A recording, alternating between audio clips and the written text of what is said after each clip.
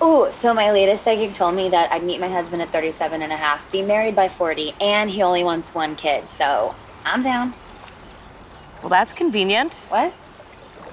Well, she pretty much told you the most basic bitch shit a person could say, and you're acting like you had like a come to Jesus moment with that celebrity teenage warlock. He's so fierce. Okay, rude. She had some really good advice. She also was the one to tell me to invest in my marijuana stocks. Oh, well, that's money well spent. Okay, fuck, I need something, okay? Look, if I have to go to another wedding and sit at this second cousin's by marriage table, I'm gonna burn this place down. Okay, that's fair. Is complimentative a word? Uh, it's complimentary. No, but I like complimentative. Like, he was very complimentary of my dress. Didn't you go to like a really nice college? I cheated. A lot. But yeah, I did. You're my favorite.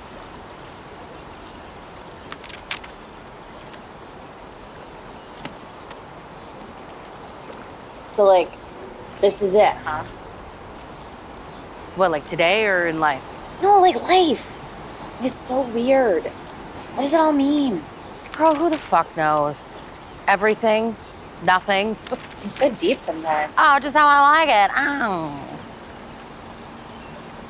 I don't know. I guess I just thought it would look a little different. What, house sitting? No, being a grown ass bitch. I mean, I feel like we're doing okay. Hey, do you want a bong of white claw? Yes. Ew. and Okay. ready? Ooh, I gotta really open my throat. Hold on. Uh, One, two, three. Ew. Oh, it's like instant heartburn. Do you have Tums?